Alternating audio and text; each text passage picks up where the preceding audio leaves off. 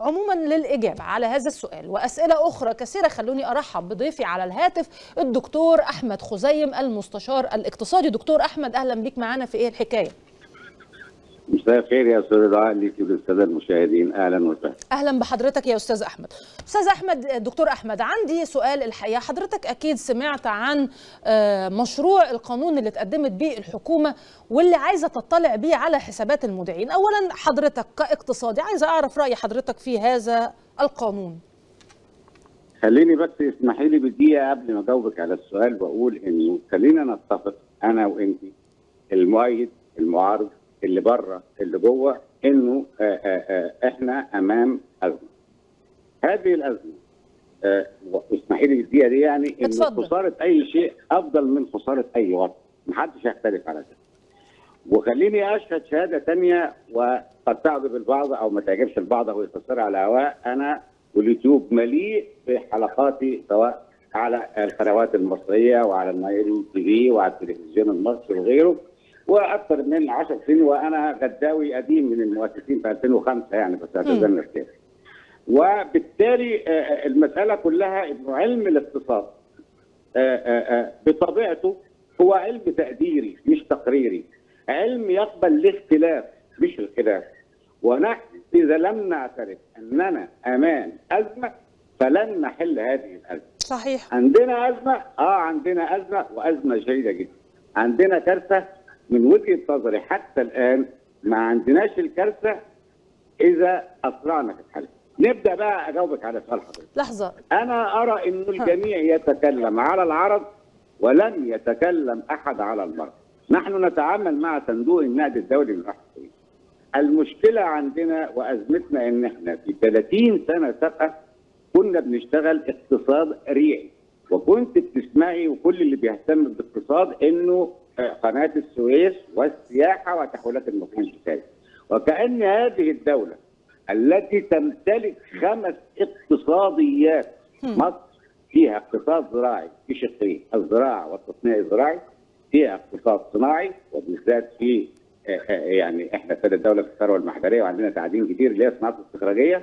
عندنا اقتصاد سياحي حدث ولا حرج عندنا اقتصاد بحري عندنا اقتصاد خليجي لم تستطع هذه الاقتصادات الخمسة أن تولد للموازنة المصرية اللي هي أزمة الدولار. انتقلنا من الاقتصاد الريعي ودخلنا في آخر 10 سنين في اقتصاد مبني على حاجة اسمها الهندسة المالية.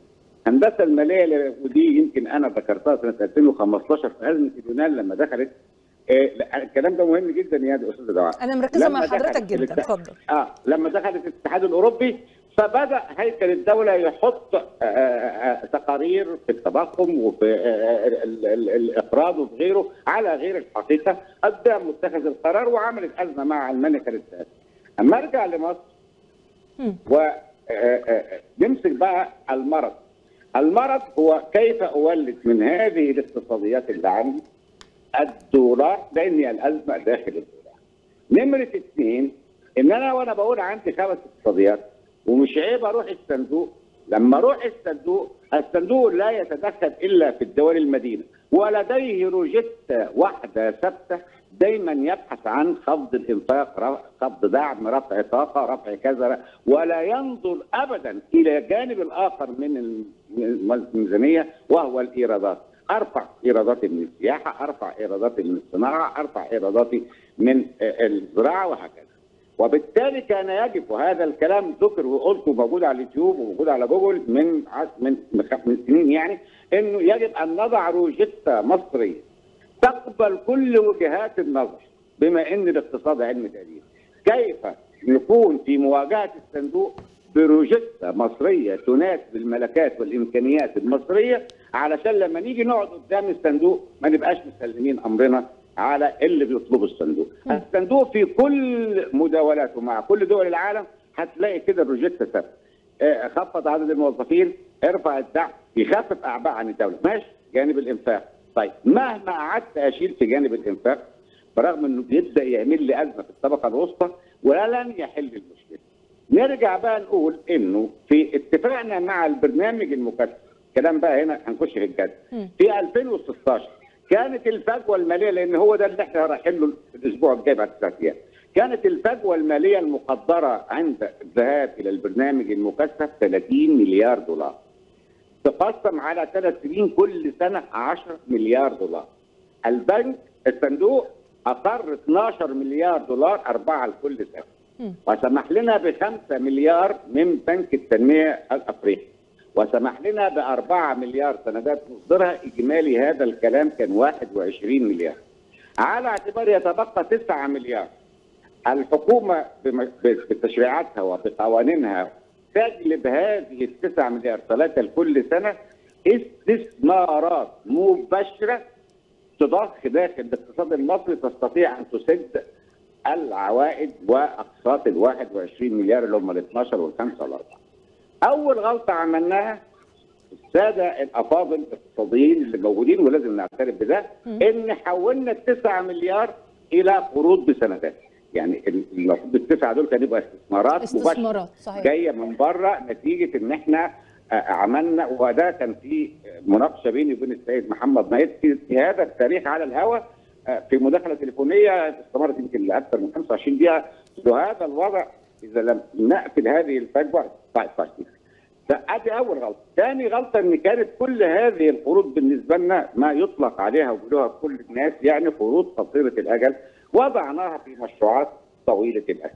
هنا الغلطتين دول اللي النهارده الصندوق في في التسع أيام اللي جايين وإحنا داخلين هو مصر على سد الفجوة المالية نتيجة ما تم في الاتفاق. طيب نرجع نقول بقى عشان ما نبقاش طول الوقت عمالين نصدر مشاكل مشاكل مشاكل ويجب تماما أن تفتح كل الآفاق الوطنية لسماع الرؤى وعلى متخذ القرار إنه ينتقي منها ما يناسب ما نبقاش في هذا الوضع اللي إحنا عمالين نشوف منه حاجات كتير. في تاريخه طلبنا بتسع قوانين أو ثمان قوانين. قانون المنافسه الاحتكارية يتم إلغاء ضد عامل مشكله كبيره كبيرة جدا. قانون الاستثمار قانون العمل. كنا في الأيام بنتكلم عن الخدمه المدنية. قلنا قانون العمل عشان نمشي على الرجلين. وحريه خروج الأسواق. وكان أهم حاجة انه كل روشتة الصندوق فيها ما يتعب المواطن المصري من رفع دعم من رفع كهرباء من رفع خدمات في مقابل ثلاث حاجات. إنه يسمح التعويض لأن عملتك بتتخفض فيبقى عندك منافسه إلى التصدير بسعر منافس وإلى جلب استثمارات مباشرة لأن الأصول عندك تبقى رخيصة إن أنا أبني مشروعات إن أنا أعمل توطين للصناعة، أعمل توطين للزراعة، أعمل شراكة مع دول العالم. في عندي محور قناة السويس المنطقة اللوجستية اللي تستطيع بدراسه بسيطة جدا وبالارقام لو حافظ أو لك بدل ما أنا مستني 5 6 7 مليار من رسوم القناة لكن المنطقة اللوجستيه فيها إمداد بالوقود وإمداد بالمياه وإمداد وقطع الغيار وغيره. أنت تستطيع في 18000 سفينة اللي بتدخل القناة حاليا في حالة الكساد ومحطة حاويات تستطيع إنها تصل إلى 40 مليار لو تم زي وادي التكنولوجيا نقدر نعمل شراكة مع الهند مع الصين مع أي حاجة ونبدأ أفريقيا عايزة 500 حوالي 575 مليون جهاز ما بين اللاب وتاب وكله. إذا لم العملة لم تقف على قدميها لأنها مخزن القيمه طالما بعيدين حتى الإقراض في نفسه إذا رفعت الناتج القومي تمام بدل ما هو أربعة النهارده بقي ستة فيبقى عندي لأنه أزيد من 60% بنصل لهذه إن أنا لما تيجي مواعيد الأقساط علم الاقتصاد مش علم يعني حساس جدا وفي نفس الوقت عامل زي الأواني المستقرة. وبالتالي كان يجب وزارة التخطيط مع مع التخطيط القومي في ثلاث دوائر. في الدائرة العالمية الأحداث اللي بتتم فجأة زي النهارده ألمانيا فيها زي زيارة النهارده الصين دي هتقلب الدنيا مع السعودية. في تغير في العالم. والدائرة الإقليمية ثم الدائرة المحلية. قلنا في الدائرة المحلية مع بداية 2015 يا جماعة إحنا داخلين على حاجة اسمها الدائرة الجهنميه وأنا أعلنتها. الدائرة الجهنميه انه أنا النهارده حجم قروضي هتيجي مواقيت التسديد مش هبقى قادر على سدادها لأن ما عنديش توليد للدولارات. وعندي قلنا في هذا ثم جاءت طبعا جائحه كورونا وساعتها أطلقت ما يسمى اقتصاد الصدمه والتراجع. ثم في الآخر بنتكلم على إن لابد وأن نذهب إلى صلب الموضوع إلى المرض فين الخطة الإنتاجية؟ نيجي في الزراعة النهارده في هندسة وراثية ممكن زي اليابان اللي ما عندهاش أرض ونبدأ نضع روجيتا كاملة سواء في الإنتاج الزراعي على ما يتيسر لنا من أراضي بقت موجودة مع سلالات جديدة مع توطين زراعة بدل ما نستورد من أوكرانيا وهكذا. ونيجي في الصناعة، الصناعات الاستخراجية هي أسرع صناعات تغذي الخزينة العامة للدوله. ثلاثة قلنا ألف ب وده كلام كتير جدا أنا ما بحبش أطرح. وللأمانة برضه يعني أنا من الناس اللي بعارض ومن داخل مصر اقتصاديا من بعد حتى ما يعني من بعد السياسة وحتى الآن والآراء موجودة ومنشورة. دي برضه شهادة عشان البعض يفسر عايز وبالتالي هنا حساسية الأسواق إن أنا النهارده البنك المركزي وهو جهة مستقلة بتدي جرس انذار للحكومة. الحكومة حتى الآن في مجلس النواب لم تقدم بيان السنوي عن توجهاتها. ادي واحد. اثنين النهارده أنا عندي في مصر زي ما أنا قلت هذه الأمور واخد بالك وبالتالي أنا طالما اعتمدت طول الوقت تصريحات السيد وزير المالية دائما يخرج من قرض يروح قرض يا سيدي أنا ما عنديش مشكلة في القرض إنما سلسلة القروض دي منعت الحكومة أو ريحت الحكومة على إنها تبقى مهتمية تماما اصبح في إيه؟ أصبح النهارده الحصيلة بتاعه الموازنة العامة للدولة اللي بتتكون فيها رقم يتجاوز ال 75% من من الضرائب. لو أنا النهارده حصل لي تضخم وهو حاصل وحصل لي لا قدر الله ركود في الأسواق وطبيعي هيحصل.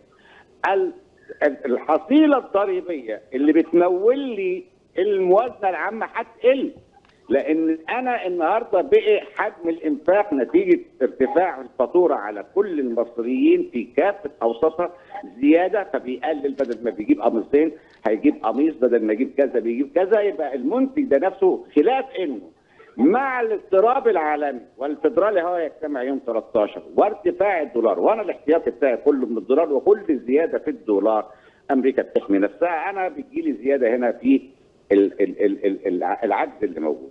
يبقى الثلاث حاجات اللي أنا عايز بس أتكلم فيهم عشان ما نفضلش نلف وندور.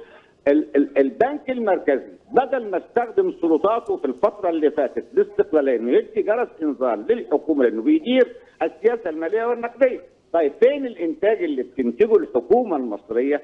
في الصناعة في خطه الصناعة في خطه الزراعة. ورجعنا قلنا يا جماعة لما جت جائحة كورونا علينا بأن تكون مصر كلها بداية ورشة عمل عشان الإجراءات الاحترازية بالصناعات الصغيرة والمتوسطة ومتناهية الصغر. وبالمناسبة هذا القطاع الذي يملك 24 قطاع داخلي الثروة الداجنه والثروة الحيوانية والثروة السمكية وتجميع الحصولات الزراعية وكلها معظمها غالبا في المواد الغذائية. مش هقول هتخفض الأسعار لكن على الأقل يبقى عندي منتج مصري حتى لو لا قدر الله حصل أي حاجة بالإضافة إلى انه هذا النوع من الخطة الآنية المضاد الحيوي اللي خفض به الحرارة فورا إنه يتميز مع خمس ست خصائص. رأس المال بتاعه مقارنة بالمشروعات الكبرى قليل. اثنين معامل دوران حركة الدورة الإنتاجية يعني في في في موضوع المزارع. من عمر يوم كتكوت لعمر 40 يوم بتطلع الفرخة. ودي اللي عملت يعني اللي, اللي, خلت البرازيل تجاوزت. ونستطيع وبطارية الدواجن نستطيع الأعلاف نستطيع نستنبط فيه كذا يعني أنا مش عايز أدخل وضيع الحلقة لكن بدون هذا الأمر الغذاء مسألة أمن قومي. طيب. حتى لو لا قدر الله النهارده بنسمع عن مجموعة من الامراض وربما يعني افتراضيه الحاجة الثالثة إنه بيمتص عماله بسرعة. الحاجة الرابعة إنه بيوفر دخول لناس كثيره جدا فيعمل عامل دوران. الحاجة السادسه إنه بيغنيني عن وارد فبيقلل لي من الفاتورة. لأن مشكلة الدولار مشكلتين. ما بين فاتورة صادراتي في مصر كلها وفاتورة وارداتي أصبح هناك في فجوه بين 30 40 مليار دولار. هذه الفجوه المالية ما بين صادرات مصر اللي فيها السياحه وفيها دخل القناه وفيها تحويلات المصريين في الخارج ومجموعة الحاصلات وما بين استيرادنا. الفجوه دي اللي بتمثل من 30 ل 40 مليار جعلت الدولار في مصر ليس عملة بل سلعة يتم التضارب عليها. ولذلك لما حد يقول لي النهارده سعر الدولار كان لا أحد يستطيع أن يتنبأ وحضرتك كل الناس اللي بتطلع على البرامج.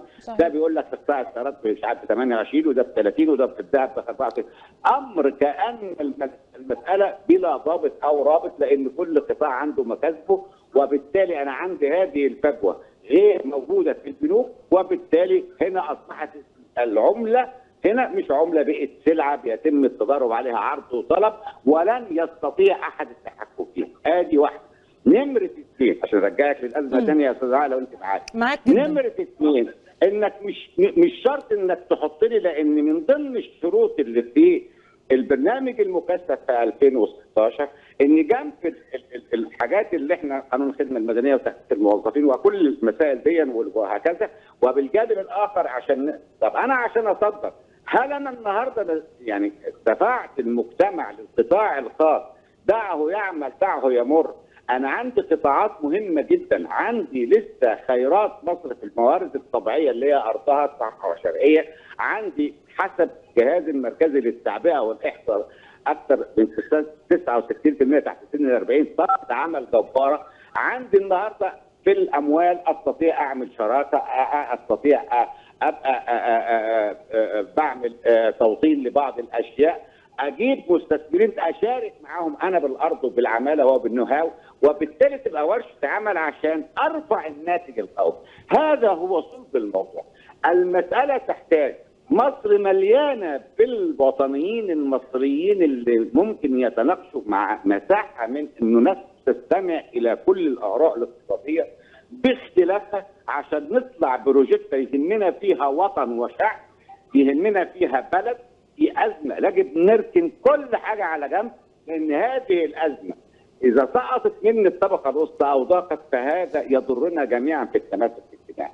المهموم على هذه البلد يتحدث في الاقتصاد بأمر إنه يجب نستمع للجميع. سيد رئيس مجلس الوزراء على عيني عندك لجنة اقتصادية في المجلس وعندك لجان اجتماع وعندك لجان مناقشة واستدعي الاقتصاد حمال اوجه نسمع لكل كل الآراء عشان نخرج من هذه الأزمة الخانقه لأنها لو تدحرجت أبعد من هذا هتصيب التماسك الاجتماعي للبلد لمصر يهمني مصر ما يهمنيش حاجة ثانية غير كده. وبالتالي المهموم بمصر والمسؤول على إنه كلنا شركاء في هذا القارب. ما نقدرش لا لا إحنا لا إحنا بلد كبيرة جدا 104 مليون مش هننفع نتصدر مش هننفع وبالتالي الخوف على مصر انه يجب تكون هناك آذان صاغية. اليوتيوب وهو ذاكرة الحال عليه من البرامج ما قلنا في حينه لدرجة ان أنا في 2014 قلت سنة الفرص الضائعه، في 15 قلت سنة الفرص الضائعه. إنما إذا لم نعترف أن هناك لدينا ازمه وعافينا نفسنا من الكلام اللي بنقوله إرضاء بآخر أو ده مش ده اللي بيحب مصر. اللي بيحب مصر خايف عليها وخايف عليها كوطن وشعب. ويجب أن يعترف أن هناك أخطاء الحل في في حلول لا زالت مصر ذخيرة بالخيرات وأقدر أعددها بالأرقام لو حابه ولو عندك وقت. إنما إذا لم نذهب في هذا الاتجاه إنما ان أنا أترك الأمر لصغار كبار الموظفين. فكل موظف يطلع لي قانون لعملية إنه أنا النهارده في حالة من المدرسة الإيرادية المتنامية. سيدي على عيب وبعد ما تاخد كل الإيرادات أنا في بس أنا دايما بقوله في الاقتصاد إن خد البيضة ما تذبحش الفرخ لأن أنا النهارده لو وصلت الناس لهذه الحالة بالتالي في كتير من المشاريع هتخرج. بجانب في أزمة عالمية مش في إيدينا إحنا. من التضخم ومن تضارب العمولات وأنا عندي بس آخر خمس أشهر دول مثل اطول موجة سحب الاستثمار على الإطلاق وخروج استثمارات حيوية من الاسواق الصاعدة بحثا عن ملاذ آمن في كثير من الدول الصاعدة. يعني عندي الدولار ارتفع بس في السنة ده 14% لو أبدأ بقى على المدى المتوسط أبدأ أفكر في ان أنا النهارده. أنا عندي السياحه السياحه لم تبحث لأن ما عنديش مبدعين في السياحة. عندي أداء وظيفي إلى دول الفوائد. الصين في السنتين الأخيرة مصدرة 160 مليون سائح تخيلي يا أستاذة دعاء لو النهارده في مبادرة من الدولة إعفاء كافة المنشآت السياحية من أول الليموزين. من أي رسوم أو ضرائب لمدة سنة بشرط إن هذا الإعفاء يبقى عبارة عن مبادرة للسائح الصيني أحاول أجذب 10% ب 1000 دولار. هجيب 16 مليار دولار. بدل ما أدفع فايدة ال 16 مليار لصندوق النقد أو لأي مقرض هبقى ارجعهم تاني للخزانة وشغلت صناعة فيها قد كده. أنا النهارده عندي اقتصاد مهم جدا جدا جدا اسمه الاقتصاد الخدمي، أنا عندي أقدم بنوك أفريقيا. وعندي أقدم شركات التأمين في أفريقيا وأقدم شركات المقاولات في أفريقيا وعندي 54 دولة ورا مني أسرع اقتصاد أقدر من خلال السفارات والملاحق التجاريه أدخل هذه الشركات و... وأبدأ أدخل أفريقيا تنمو بسرعة. أستطيع إن أنا أولد دولار خاصة بعد ما إحنا بقينا بعد ما كنا ماسكين رئاسه الاتحاد الافريقي وعملنا المنظمة اللي تعتبر أكبر منظمة بعد منظمة التجارة العالمية فيها إعفاء لغاية 55% ولغاية 90% في الجمارك لمدة تسع سنين زي الكوميسا اللي ما استفدناش فيها من 2005 اللي الكوميسا 19 دولة بعد اتحاد تنزانيا بتستورد في السنة الواحدة في حوالي 400 مليار دولار لو استهدفنا كل سنة 10% وأنا حللت هذه النوعية. فلقيت أواني الطهي والأسمدة والأقمشة وحاجات كلها طب إحنا إحنا إيه اللي, إيه اللي منعنا من تنفيذ كل المقترحات اللي حضرتك قلتها؟ اللي منعنا عدم وجود رؤية. عدم وجود روجيت عدم الاستماع لكل الآراء. في الاقتصاد مفيش توجه. الاقتصاد هو أكل العيش. نسمع للكل ونضع روجيتا مصرية. وبالتالي إذا لم نذهب إلى الإنتاج كل هذا الأمر عرض ولم نذهب إلى المرض. مصر قادرة على إنها تذهب إلى الإنتاج وترفع الناتج القومي حتى القروض دي ما تبقاش خطر. ونجب أن توضع خطة آنية وخطة متوسطة خطة طولة الأجل و نتباحث مع كافة المقرضين على اعاده الجدولة تاني عشان نقدر ناخد نفسنا. بس الأول نضع القوانين المهيئة. انما كل القوانين اللي طالعة للأسف الشديد مش في صلب الموضوع. علينا الذهاب إلى إذا كنا مهمومين بهذه البلد البلد تملك إحنا دوله اختار المحكمه مش عايز أعدد اللي موجود في مصر لأن الكل يعلم طيب أنا هسأل حضرتك سؤال أخير اللي بدأت بيه الحلقة.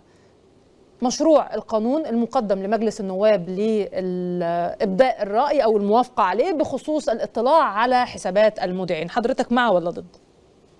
ضد طبعا. أنا ضد لأنه أنت حضرتك قلت هذا الكلام.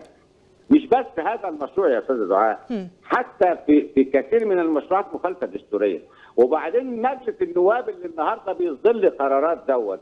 هل هو استدعى مجلس الوزراء في في كثير من الأمور اتناقش فيها؟ هل هو عمل جلسة استماع؟ هل هو تقدم قدامه بيان الحكومة؟ وحسينا كده في مناقشات زي ما كنا بنشوف لأن ده أزمة اقتصادية تهم المواطن المصري ويجب أن كلنا نشارك فيها. ما هيش مش مش مش لحد معين إن حتى هو وهو بيتكلم عن الشائعات ما تنزل قانون حريه وتداول وشفافيه المعلومات وخلي المعلومات متاحة ونسمع آراء بعض وننقذ البلد البلد سهل جدا إنقاذها لكن بهذه الطريقة انه كله على ما يرام ده كلام مش صح ده كلام مش صح وبالتالي لابد أن يعني نفتح مساحة نستمع للآراء المهمومة بهذا الوطن، الوطن مش ملك حد، الوطن ملك الجميع. ما فيش حاجة اسمها هنا ولا هناك ولا ولا ولا معارض ولا مؤيد في الاقتصاد. قول وجهة نظرك القابلة للتطبيق وتتحط قدام صانع القرار، إذا لم نذهب إلى هذا وأنا بكلمك وهو من داخل مصر والحمد لله موجود يعني زي ما بقول لحضرتك على اليوتيوب لكن في الآخر لن يستمر هذا الحال في إن كل حاجة إشاعات كل حاجة بامر طب مش هنصلح حاجة؟ مش هنصلح حاجة. إذا لم نعترف إن هناك خطأ والأفكار فكر وموجود وموجود يساري ليبرالي وسطي أهلا وسهلا. وأنا اللي طالبت بمؤتمر اقتصادي فكر يطلع فيه أفكار مكتوبة فيها خطة للصناعة خطة للزراعة. نبدأ نستعيد مثلا النقل النهري عشان نخفف نقدر نرجع في السكة الحديد على قطر الزراعة. نخفف الأحمال علشان نستطيع إنه ما نخليش الركود يصل إلى البيت المصري وده هيؤدي إلى إن إحنا هنصرف على الأمن وعلى الصحة لأنه هيؤدي إلى أمراض وإلى عنوسة وإلى سرقات وإلى إن إحنا نقوي الأمن هنرجع نصرفه بطريقة ثانية وده كلام مش مصر. أرجو أن يكون هناك من يستمع إنه تحتوينا كلنا والأفكار مش حكر على حد ومحدش يقول لي الافكار حط اكتب واكتب إجراءاتك والبروسيس بتاعتها وتتناقش وتبدأ تدخل وتطلع بيها روجيتا مصرية نواجه بيها كلنا هذه الازمه. ده وجهة نظري نتمنى نتمنى أن يستمعوا ليها دكتور أحمد خزيمة المستشار الاقتصادي. أنا بشكر حضرتك شكرا جزيلا على مداخلتك معنا وعلى كثير من الأمور اللي حضرتك وضحتها.